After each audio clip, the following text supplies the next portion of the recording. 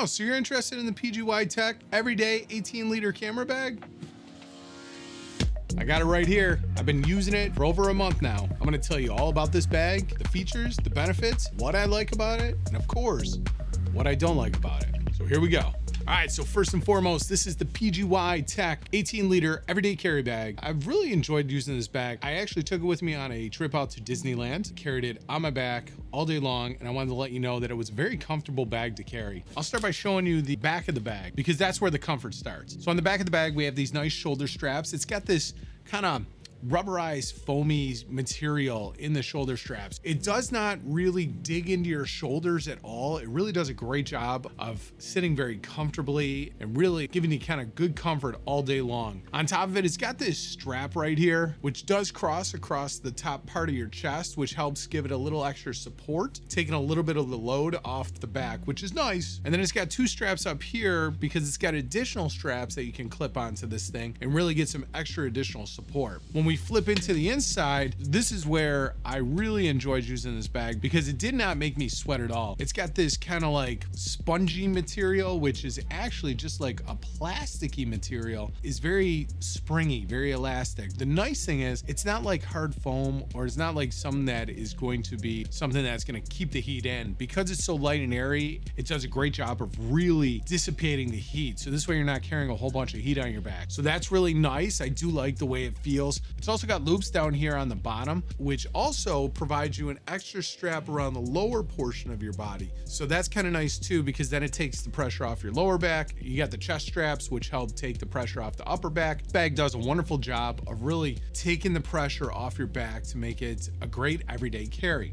Now it does have these straps down here at the bottom, these extra little tabs, and this is where you can mount, kind of carry like a longer tripod or something of that nature. If we continue to work our way around the bag, it does have this slide through slot. If you're out there traveling, you can go ahead, throw this on to your luggage. This way you don't have to carry it on your back. You can throw it on your luggage. You got your roller cart, you're good to go. It's really nice in that regard as well. It does have two side handles here. This way you can pick the bag up by the side. It's got one on this side. Basically, it's got two of them. It's got two handles right here. This way you can carry it on the side, which is really nice. And it's also got this top handle. Listen, I had this thing really pumped up with a lot of gear. And I'll be completely honest with you, it did a great job uh, supporting. This strap feels very solid, good stitching, really held in there well. So I've been very impressed with the build quality because the other part is, is that the outside of this bag is also kind of like this water resistant material. It's really gonna repel water. So you don't need an additional bag hood or anything of that nature. It's gonna do a great job of really protecting you from the elements. The bottom part is kind of like a, uh, I, would call it like a canvasy bottom. We do have two additional straps here. So those straps on the back, you can kind of crisscross down here to really hold something to the bottom. You know, I, I love being able to, to hang things on the bag and, and really maximize the space of the bag. Over here, we do have two water slots, one on each side. Now they're elasticy as far as the springiness goes. So maybe over time that would wear out, but you could put a water bottle in there or you could do like a mini tripod, like a GorillaPod. This way you got everything you need ready to go ready to vlog. As we move to the inside of the bag, it has this magnetic clip right here, which is fantastic. It locks it in. So this way it doesn't doesn't come apart, which is nice. We go ahead and open it up. We got a top compartment in here so you can fit a lot of things in here. I typically kept my air blower in here. Air blower, you gotta have one of these if you got a mirrorless camera. I also kept my Deity D4 Duo microphone in the top up here. Also, just a mini flash. You're going out, you're taking pictures of the family. It was a family vacation, so I wanted to make sure that I had a flash just in case we got into some low light situations that needed a little bit of flash. I'm gonna go ahead and actually, this bag opens up three different ways. You can go open from the top. You can go open from either one of the sides here as well. I'm gonna go ahead, open it from the top. It will, it will allow us a little bit more access to show you exactly what's in here. So in this top section, got a magnetic top up here, kept my SD cards, additional cables, and keep the straps up here. So that's nice. You can store things up here. In the inside of the bag, I have my Sony a7 IV right in here with the 16 to 35 millimeter f2.8 lens, which is actually what I'm filming on right now. I actually slid it in from the side compartment. The lens, the end of the lens was over here, and then I had the camera tucked up against here. It took me a while to kind of figure out the spacing, where I wanted to put everything. But once I had it figured out, once I had it down, we were good to go. Over here, I got my Sigma 24 to 70 lens. Over here right now, I got a stand in the 35 millimeter f1.4 lens. I'll tell you how I actually carried that around later on as we get more to the side compartments. But normally what was sitting in here was the Sony 20 millimeter f1.8 lens, which was my low light vlogging lens for late at night. And then I have uh, my Zeiss 85 millimeter f1.8, which is the lightest 85 millimeter that you can buy in the market with stabilization. Love that lens, great portrait lens, great for telephoto type stuff without having to carry a huge telephoto lens. Really was glad I brought that one along. And then we got we got some additional pockets over here. Remember, this is gonna be kind of folded up here. We have a pocket here, which you could store some items.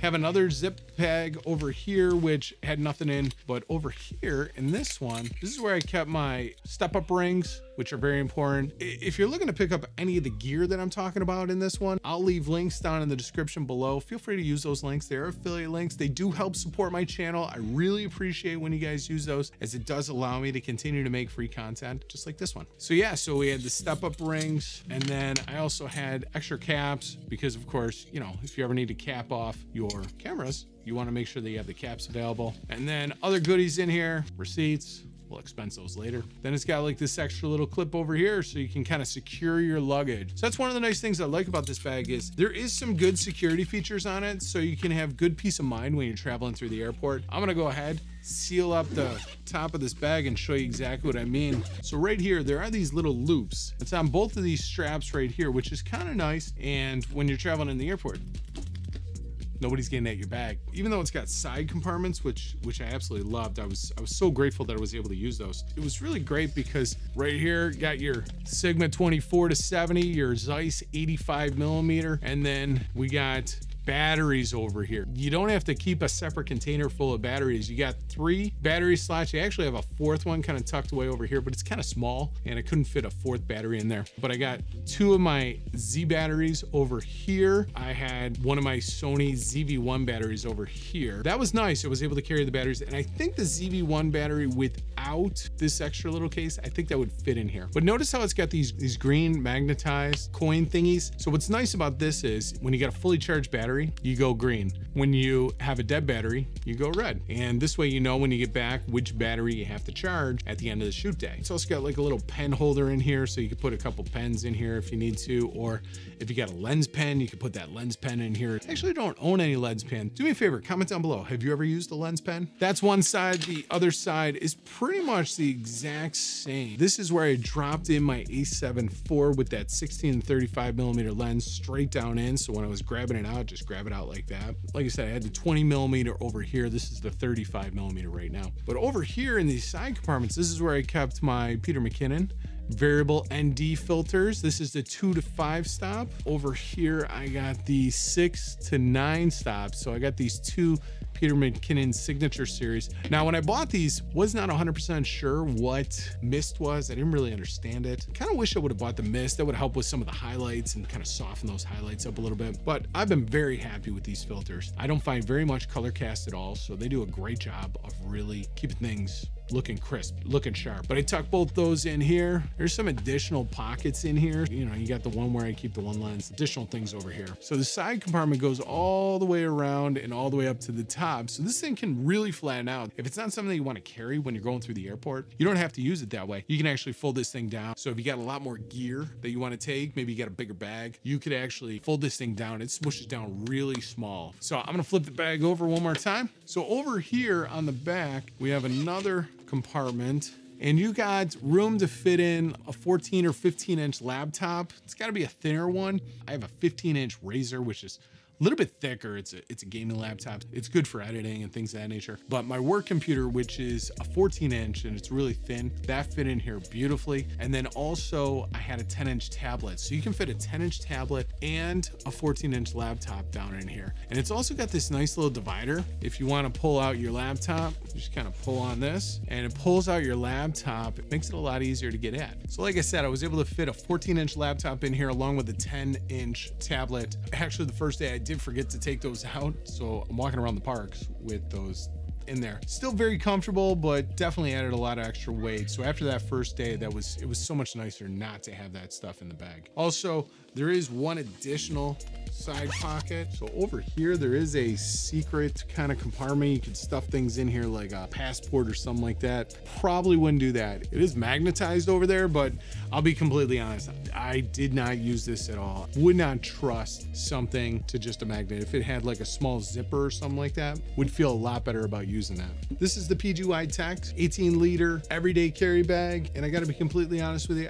absolutely thrilled with this bag. It's did a great job. It really served the purpose well. Oh, and I mentioned, I mentioned, what did I do with that 35 millimeter lens? Right now I'm shooting on the a7 IV with the 16 to 35 millimeter GM lens. And then up here, I have Sony a7C with the 20 millimeter lens. What did I ultimately do? Well, what you can do is right in here, you can actually put right in here, right in this top section. So put the a7C with the 35 millimeter f1.4 lens, and I turn it sideways. So this way, when you're grabbing it out, I was able to grab it by the handle, pull it out. That was awesome. Then what I could do is I could have a fixed prime photo lens, and then I use the a7 IV as our video camera. So that was kind of nice. If you like this video, my name is Brian the Camera Guy. I do reviews of Sony cameras and lenses, along with gear, just like this one. So if that's something you're into, hey man, do me a favor hit that subscribe button, ring that bell, and comment down below. Is this a bag that you're really looking at? And do you have any questions that I can help you answer? If you like this video, I'm sure you're gonna like the video on the screen now. Go ahead and click on that video, and I'll see you on that video next. Before you leave,